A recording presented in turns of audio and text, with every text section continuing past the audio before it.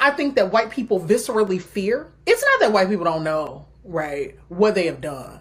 They know.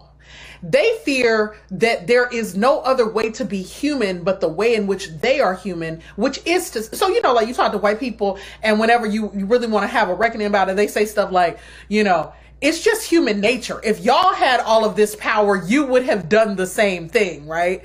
And it's like, no, that's what white humans did. White human beings thought there's a world here and we own it. Prior to them, Black and brown people have been sailing across oceans, interacting with each other for centuries without total subjugation, domination, and colonialism. We have seen uh, what a what a show this iteration of treatment of, of other human beings means, and that my hope is that we would do it differently, you know, in the moments when we have some power.